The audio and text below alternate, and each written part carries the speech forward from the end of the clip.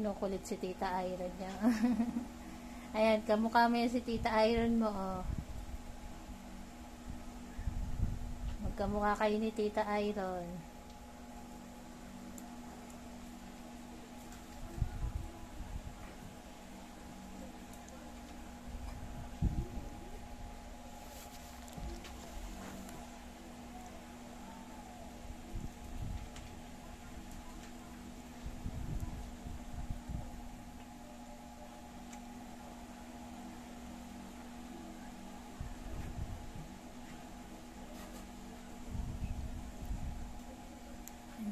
Naglalaro-laro na sila.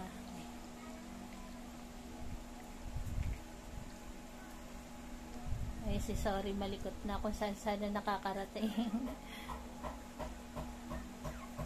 Astig. Ay, kalaro na si Astig eh, oh.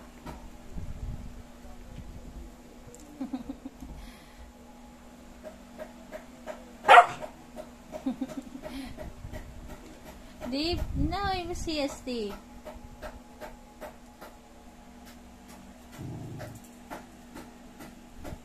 To the rescue ang nanay eh.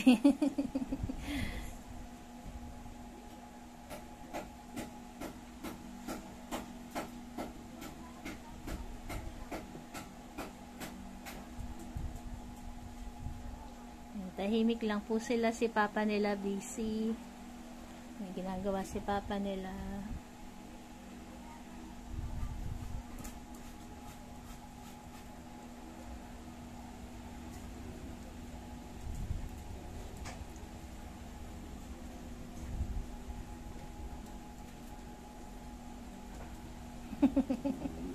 Dinodonggol ni Cherry si Astig yan. Lumala ba si Astig? ano Astig?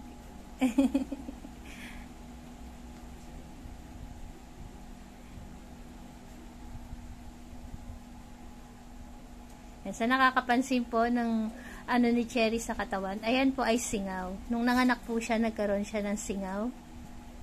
Ngayon po okay na siya, tuyo na.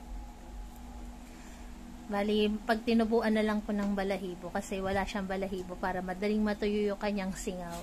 Pero ayan, makikita niyo naman po tuyo na yung kanyang balat. Ayan. Hmm, Wala na po siyang sugat. Tuyo na talaga. Yun nga lang, walang balahibo. Ayan na si Astig. Nag-umpisa na si Astig.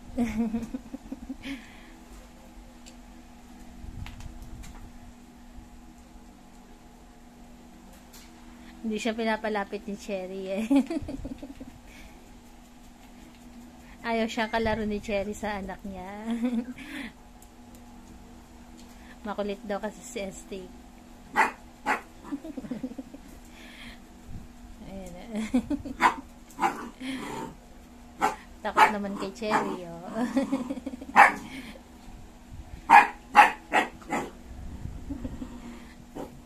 Takot naman, no?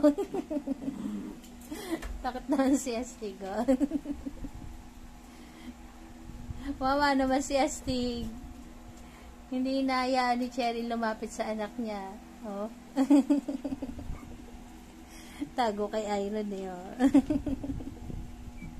Kawawa si Astig. Pag kay Caramel di nagagalit si Cherry, eh, oh. Dinodunggol kasi ni ano ni Astig. Kaya ayaw palaro ni Cherry. Marunong din si Cherry eh. Alam niya masasaktan yung anak niya pag si Astig ang nakipaglaro eh. Binabawal niya.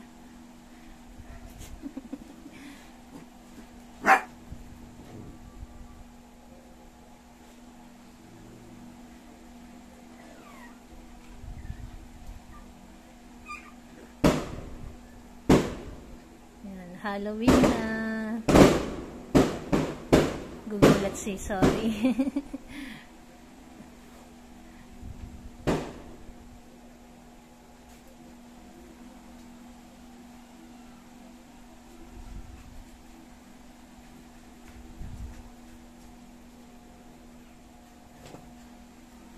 Ayan, yung dingding namin, ganyan pa lang po kasi hindi pa siya naayos ni Pandan. Kakaskasi niya po yan. Kumbaga, pipinturahan namin ng bago. Hindi pa nga lang yan naaasikaso kasi meron pa po siyang ibang ginagawa na inuuna. Natambak kasi yung trabaho gawa nga ng pag nung bumaha, natambak yung trabaho ni Papa Fernan. Ano, mayor ko? Si mayor na pogi. Papakarga si mayor. Pakarga ang aking baby mayor.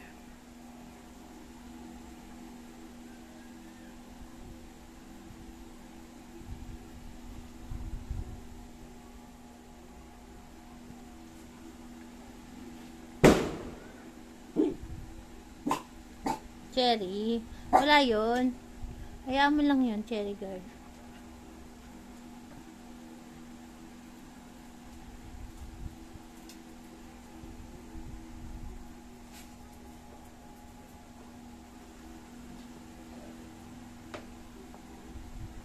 Makikisali na si ano, Shelo.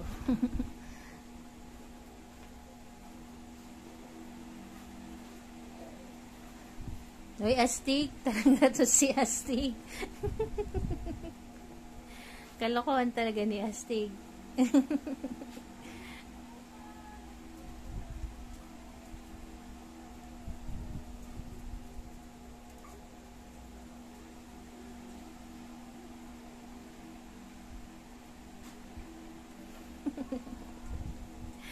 Loko to si astig eh.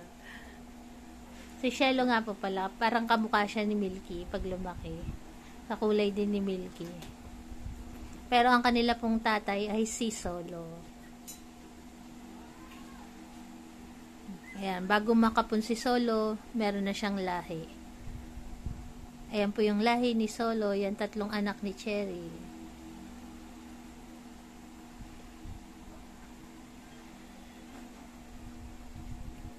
Busy-busy to si STK, oh. Si baby ko, ayan eh, tulog eh, oh.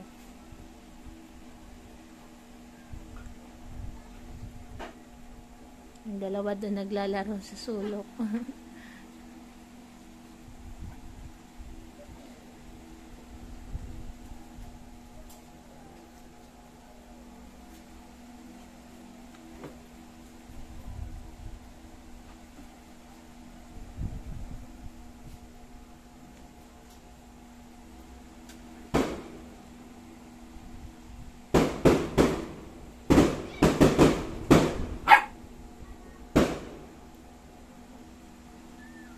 Ayan, malaya na rin po nakakalabas-labas yung mga anak ni Cherry. Ayan, malaya silang nakakalakad-lakad.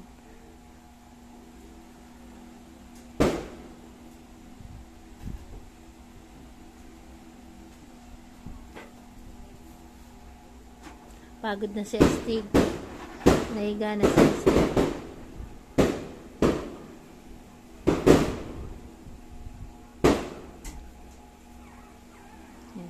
Narinig niyo po maraming nagpapa nagpapa ano ng fireworks pero hindi naman sila nag-iingay. Yan. Tahimik naman ng aming mga fire babies.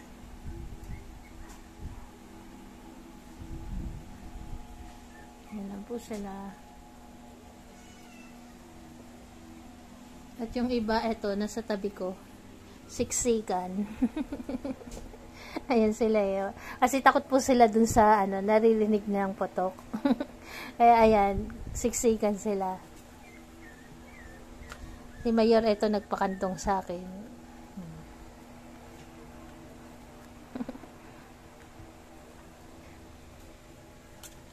Ayan, kawawa naman si Kapero. Nagsusumiksik doon kasi takot po talaga sila sa putok.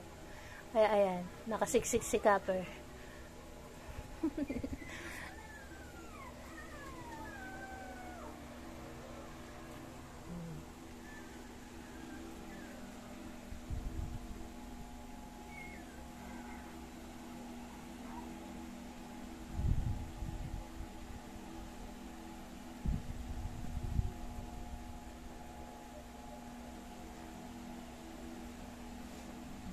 Po, good evening po sa ating lahat.